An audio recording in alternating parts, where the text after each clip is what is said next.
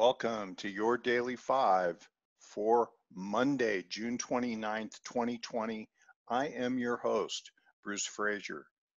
We are going to talk about the gold mining shares today, but let's start with a look at the gold futures. Here is a chart, monthly data going back to 2001. Beautiful uptrend, climactic with the test sets up a large range bound condition reaccumulation that has been in place since 2013. In 2018, in August, I wrote a blog which showed that gold had pulled back. This is the futures had pulled back to important support. I want you to go back, look at that blog, August of 2018, you can link into this chart and keep an eye on it. But look at the very large uptrend that has occurred since August of 2018. Now gold is up against its 2011 2012 resistance area.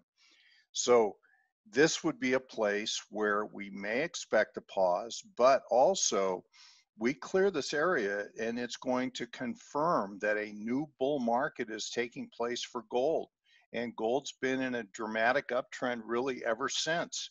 So let's look at the gold shares. Here is the gold miners ETF. GDX is the symbol. It's in a reaccumulation structure since 2016. This was concluded with a shakeout move that occurred into the March lows big liquidity event, which was reversed dramatically into an important launch out of the reaccumulation area.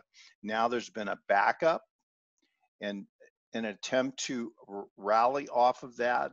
More work may need to be done here, but you can see the resistance of the old highs of 2016 have now been exceeded. You also note the relative strength.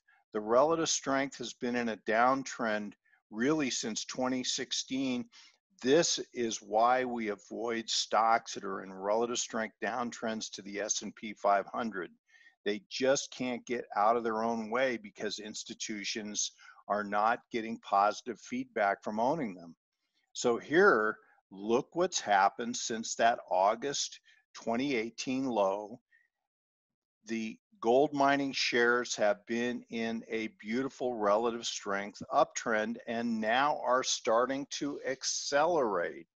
Very exciting because we can now take a point and figure count of this whole area. So looking at the swing trading count horizontal method the Wyckoff horizontal method, we can see that there is this large area we just looked at on the prior chart and counting, taking the conservative count, one box scaling, one box method, we have 38 columns. One point scaling, 38 columns is 38 points. We want to flag that and we can see that this gives us a count potential of 55 to 62 and we're just now at $35 and are gently backing up against prior resistance, which is classic condition of the completion of accumulation. We can also see that the account could become much larger.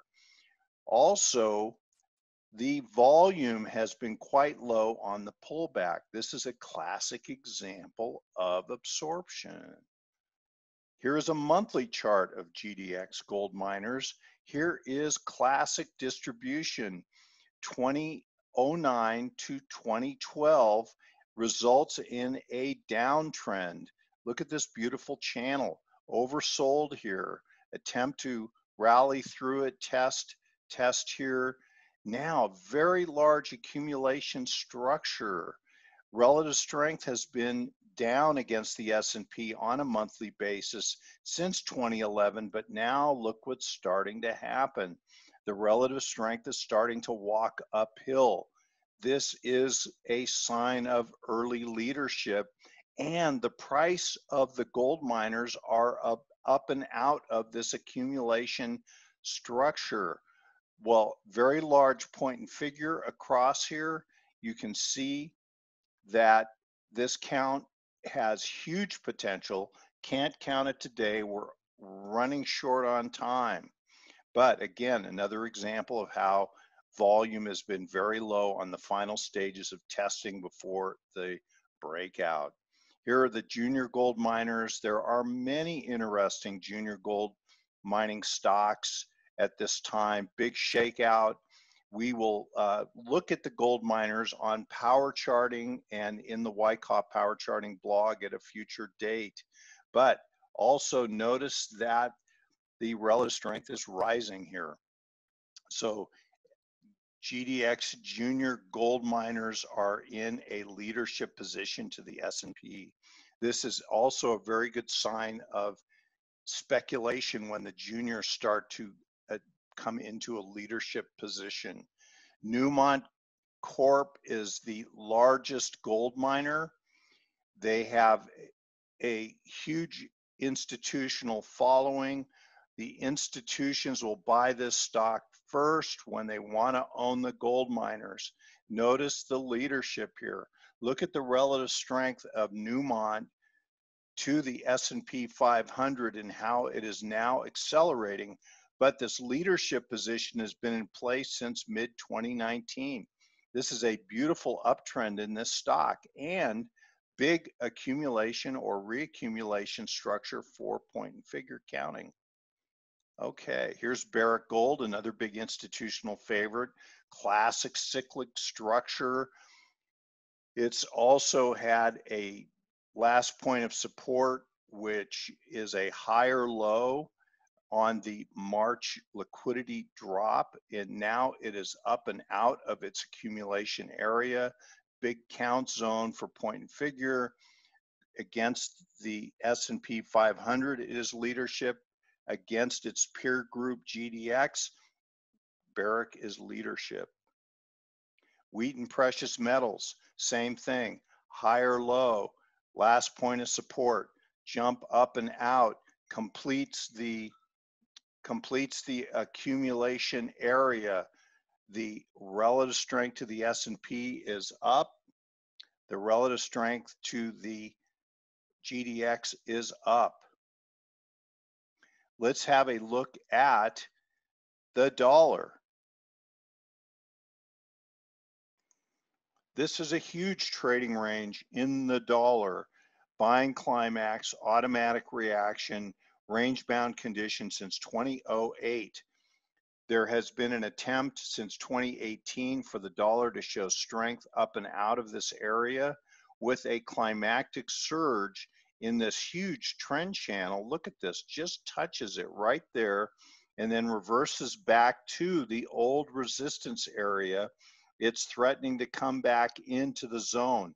Classic relationship between gold and the dollar is when the dollar's strong, gold tends to be weak. When the gold is strong, the dollar tends to be weak. They have a normal uh, relationship like that. Let's look at what the recent history has held. Again, dollar weak, gold strong. Dollar strong, gold weak. So here we can see that here's the big accumulation that we had just evaluated and the uptrend. Well, something different is happening here. Dollar has been strong since 2018. Gold has been strong since 2018. So if the dollar becomes weak, does gold start to accelerate its uptrend? I'll leave you with that thought for now. Thank you for being here, and we will see you next time. Hey, Grayson Roze here with Stock Charts. Thank you so much for watching. I hope you enjoyed that video. If you did, consider giving it a like down below, maybe leave us a comment, and if you're new to the channel, you can subscribe at the link up above. We're gonna bring you daily content from an incredible collection of technical analysts and financial experts.